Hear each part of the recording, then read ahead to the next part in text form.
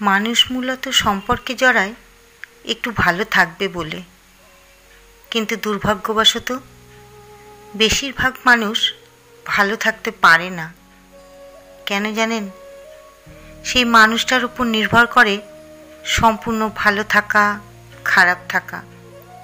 আর তখনই শুরু হয় খারাপ থাকার গল্প। মনে নেমে আসে বিষণ্নতা একটু বেশি নির্ভর করে, তাই হয়তো দিন শেষে ভালো থাকা হয়ে ওঠে না। সম্পর্কগুলোতে একে অপরের গুরুত্বের চেয়ে চাহিদাগুলো বেশি হতে থাকে।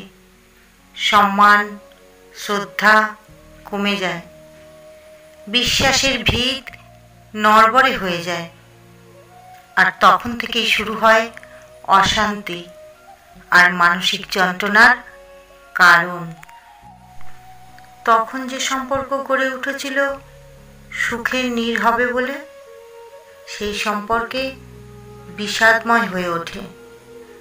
দুজন মানুষের মাঝে দূরত্ব বাড়তে থাকে আর এক সময় তিক্ততায় ভরে যায় আর তারপর হয় বিচ্ছেদ।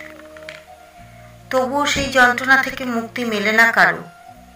দুই প্রান্তে জ্বলতে থাকে দুটি মানুষের জীবন। দুর্বিষহ হয়ে ওঠে বেঁচে থাকা। এই যে নীরব যন্ত্রণা যা ছাড় খাড় করে দেয় জীবনের অলিগলি। জীবন নামের ছোট্ট খেলাঘরে আর ভালো থাকা হয়ে ওঠে না।